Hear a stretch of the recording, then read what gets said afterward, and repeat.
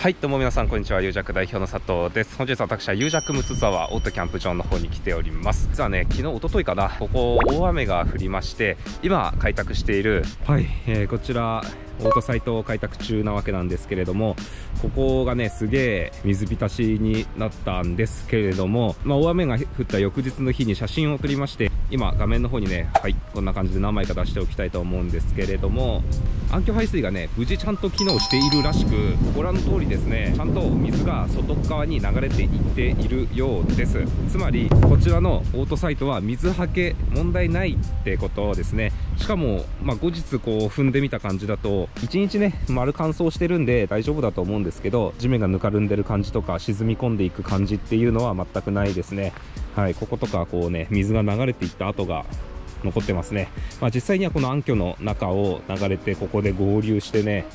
えー、で最終的にここが川流れのような形でもってあそこからね外に排出していったんじゃないかなっていうふうに思うんですけど、まあ、実際土の跡が結構ついてますよね。でここまだね完全に固めてない状況なので今日はここに大きめの砂利を入れてですねせっかく撒いた山砂がねどんどんここから流出していってしまっても問題なのでここには採石を入れてあげてで、まあ、土が流れないようにした状況で最終ここのねオートサイトの面を整えていきたいなっていうふうに思ってます。はい。まあ実際山砂ねこの辺とかは全然敷いて入れてないんですよ。だから実際ここの対策をしてないところに関してはかなりぬかるんでるような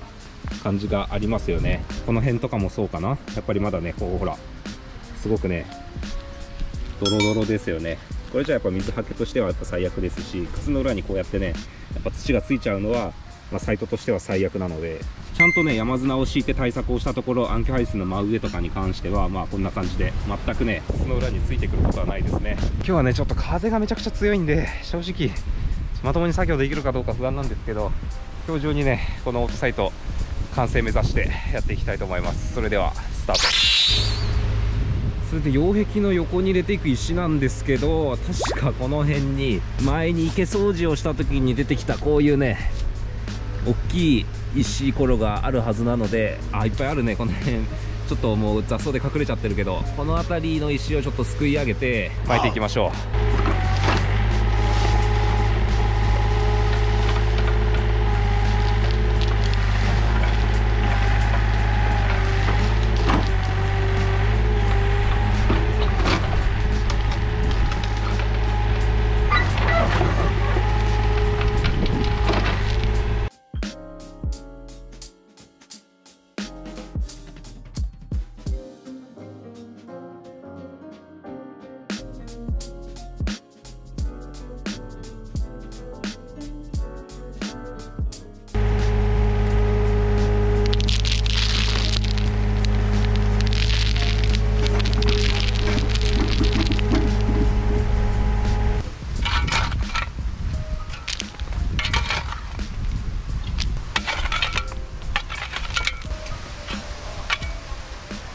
はいというわけでこんな感じで今砂利をね入れてみました、まあ、結構土とかがあるんで本当はねユンボのスケルトンバケットがあればよかったんですけどそんなものは持ち合わせておりませんのでとりあえずもう土ごと入れちゃいました。でもほとんどが石なんで水はけは大丈夫でしょう。それでまあこの部分からちょっと出てきちゃうので砂利とか土とかね。まあこのレンガを使って止めておきたいと思います。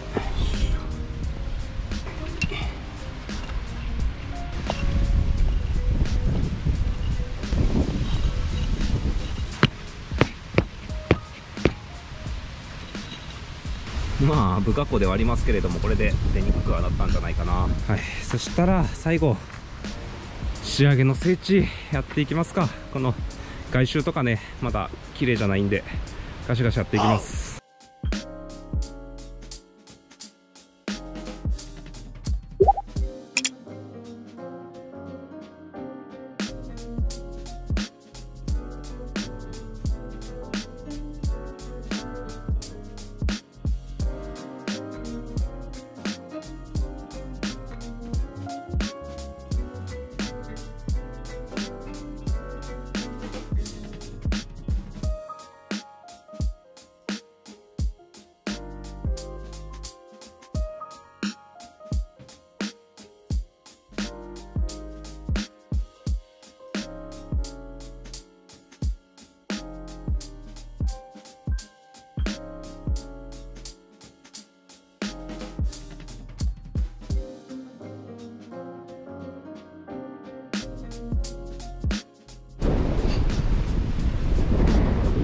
そんなわけでだいぶね地盤を整えました。ステージはほぼほぼ完了な状況ですね。そしたら今あそこに見えてるプレートコンパクターを使って全面的にね1回プレートをかけていきます。しかし風強いな今日。すげえ作業がやりにくいですね。風切り音すげえ入ってそう。この後一旦サイト内のゴミきれいに片付けた後プレートをかけてで最後またねこの砂利のところをきれいにまた砂利敷きしていきます。やっていきましょう。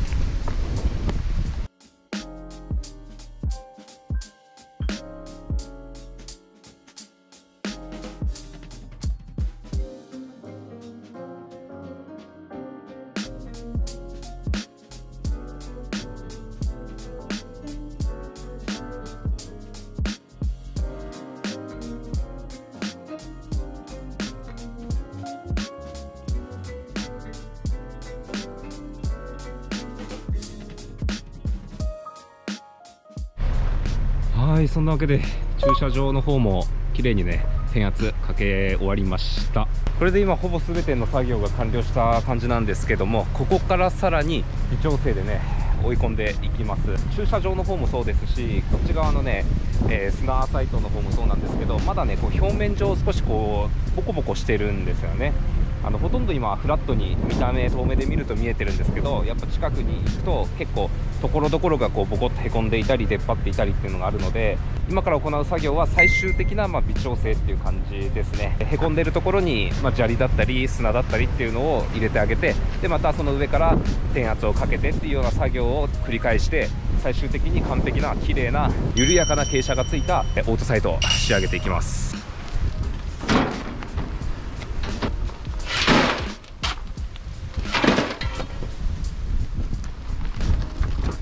GoPro の広角レンズで見るとあんまりよくわかんないかもしれないんですけど、まあ、実際ね見るとこの辺りが少しだけくぼんでるのでこういうところに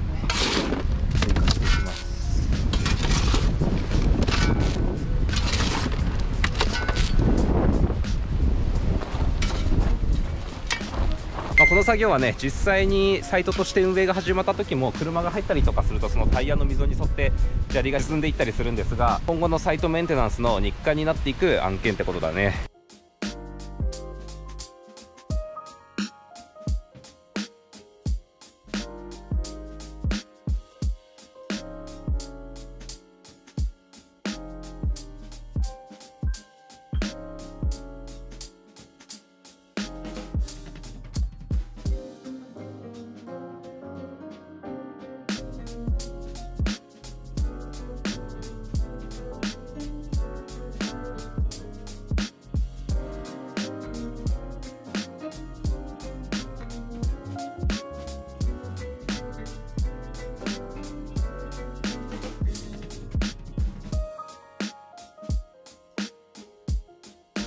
はいというわけで調整作業終了いたしました。最後の作業といたしましてやっていく内容がこれですね。はいパーツ買ってますのでこれ何かっていうとよいしょ。はいこちらでございます。この打ち込んだ単管パイプ杭用のキャップをまあはめてですね。なんかはまりが悪いんだけど。あほらあちゃんと奥までさなきゃいけないんだね。でこれだけだとちょっと不格好なんで最後このね塗料でペイントしていきます。油性だね。今日一応風が強いんだけど天気いいんでまあ適当にちゃちゃっとね塗ってしまいます。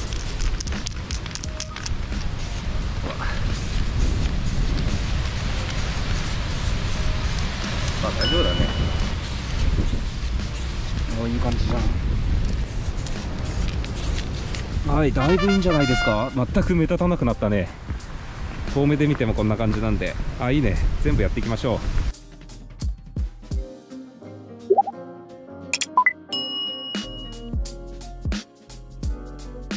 う。はいそんなわけで全部ね塗り終わりました。結構目立たなくなっていい感じになりましたね、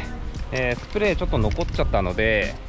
前にやった擁壁の壁とかあとは入り口の看板のとこやつとかその辺りもちょっと収集しておきたいと思います。はいそんなわけでようやくオートキャンプサイト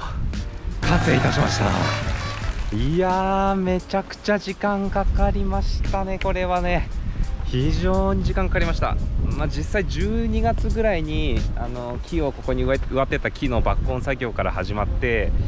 いやもう2ヶ月ぐらいね経過しちゃいましたね完成するまでに。まあとはいえ1日あたりの作業時間が15分とか30分とか、まあ、結構細々とねやってたりとか実際がっつりやった日でも、まあ、1日朝朝からま晩までですね10時間ぐらいねやった日とかっていうのもあると思うんですけど今までやったキャンプ場開拓の中で炊事島に匹敵するレベルで時間がねかかりましたね本当に。いやーすげえ長丁場な戦いでしたけれども今無事に。えー、完成いたしました。はいまあ、多少のボコボコ感とかっていうのはある残ってはいるんですけども、まあ、この辺りはご愛嬌ということで実際多分ね人がここを出入りするようになると少しずつねこう面が揃ってくるというかこのボコボコが馴染んでくると思うんですよね。あとはま雨が降ったり風が吹いたりするとね。はい。でまあこの辺りに積んである土に関してもおそらく時間が経つと少しずつこうなだらかにね、え、なってきます。キャンプする上では支障がない土たちなのでおそらくね上のオートサイト作りとかそういう時にここの土は使うことになると思いますから一旦ねこのまま放流という形。で出口の部分もまあ、砂利ちゃんとね、えー、入れたのでおそらくここから水がしっかりと抜けていってくれるはずです。で前回のオートサイトのように今回は丸太の半割りを使っているのでかなり丈夫ですね。もう間隔はこの端っこと端っこで4 m 間隔でやっているにもかかわらずこの土の圧力で全くここが歪んでいるという感じは見受けられないので、まあ、相当ね長持ちするんじゃないかな、はい。まあ、もし擁壁ダメになっちゃったとしてもいくらでも買いがありますんでね、まあ、都度パーツを入れ替えるという形で対応したいなと思います、はい。まあ、水はけも暗渠排水を設置したおかげでかなりいいサイトになったかなというふうに思いますのであとは実際の使用あるのみといった感じですが、えー、今日はね最後に、えー、車の駐車テストをしようかなっていうふうに思いますので一旦ねちょっと車を回してみます、えー、もちろん回す車はね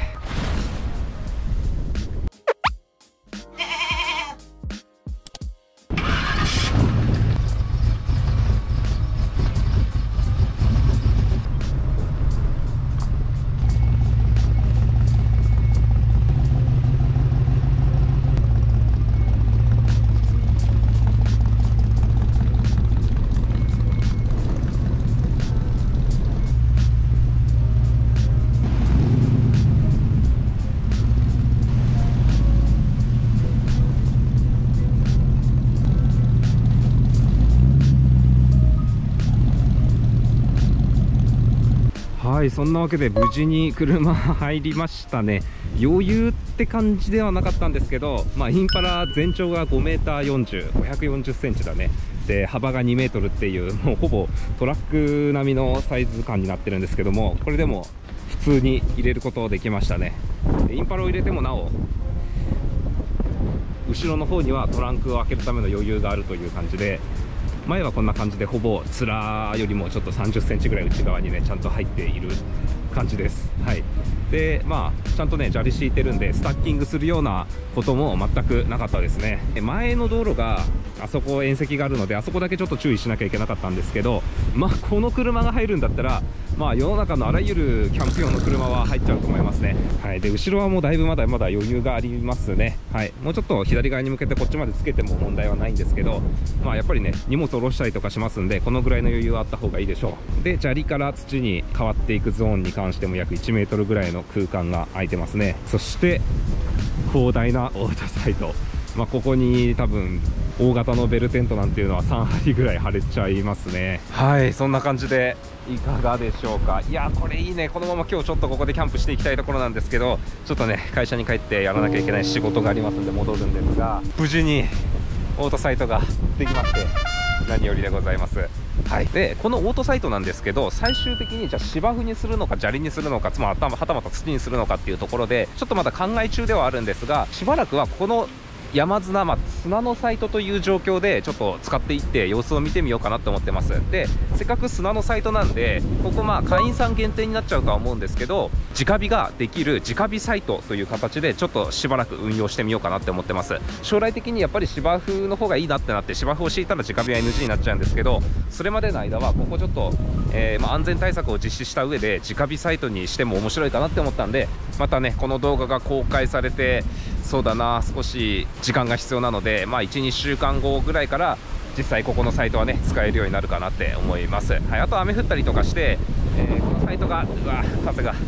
あと雨が降ったりとかしてこのサイトがちゃんとね実用に耐えうる状況なのかっていうテストが済んだ上で一般公開していきたいなっていうふうに思ってますのでそれまで今しばらくねお時間をください。はい。そんな感じで本日の動画は以上となります。本日の動画が面白かったという方はぜひグッドボタンよろしくお願いいたします。チャンネル登録まだお済みでない方は右下の赤いボタンからチャンネル登録していただきましてその後現れる通知設定もオンにしておいてください。合わせましてこちらですね。はい。Twitter、Instagram、あとユージャックの公式 LINE やっておりますので、合わせてフォローよろしくお願いいたします。こちらも、はい、インパラキャンプのブログ、毎日キャンプ系の記事更新しておりますので、こちらも合わせて読みに来てください。それではまた次回の動画でお会いいたしましょう。さよなら。いやー、無事にね、サイトができて、ちょっとね、ほっとしておりますが、えー、下のサイトをね、あっち側にもこれからというか今後暗渠を組んだり、まあ、暗渠を組まないにしても山綱を敷いたりとかあとはここだいぶね車の出入りでこんな感じでちょっとへこんじゃったりとかしてるんで、まあ、砂利時期、まあ、メンテナンスをねしていかなきゃいけないね。はい。もうこんな感じでこれぬかるみの中キャンプをするとこういう感じで足跡まみれっていうね状況になっちゃうんですよ。これねもう最悪なんで芝生も生育しないですし芝生どこ行っちゃったんだろうここの。ひとまず砂利や山砂を敷いてここはまた後日ねやっていきたいと思います。